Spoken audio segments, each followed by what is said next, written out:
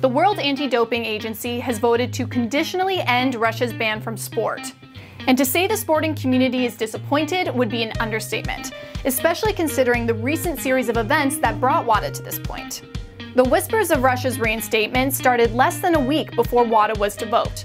On September 14th, it became clear WADA's Compliance Review Committee recommended to executives that Russia should be reinstated.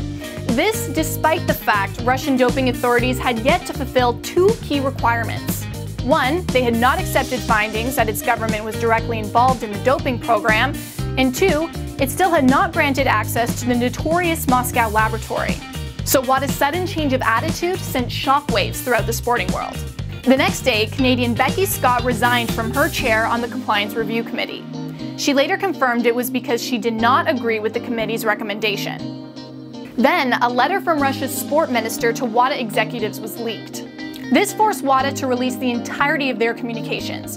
And a letter from June 2018 revealed WADA president Sir Craig Reedie and its director general Olivier Niggli suggesting, in the quote, spirit of compromise, how Russia's agency could fulfill those last two requirements.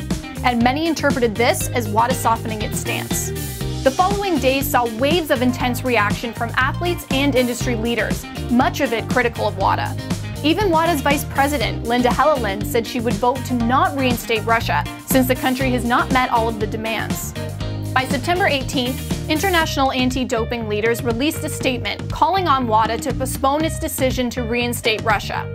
They say the letters represent a quote, clear shifting of goalposts by WADA, and that now is not the time for WADA to U-turn on its roadmap. Which brings us to September 20th, when WADA executives voted to not postpone the decision and ultimately to reinstate Russia, subject to strict conditions. If the Russian anti-doping authority does not give access to data and samples from the Moscow lab, they could go back to being non-compliant. So what does this all mean moving forward? Well, it's safe to say that faith in WADA has reached an all-time low.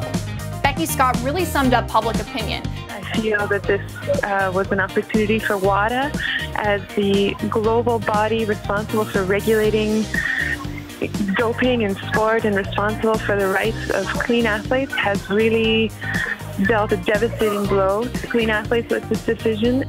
Plus, what message does this send to Russia? We'll see in the following year whether WADA's strategy will pay off. But will the price of the community's respect and principles be worth it?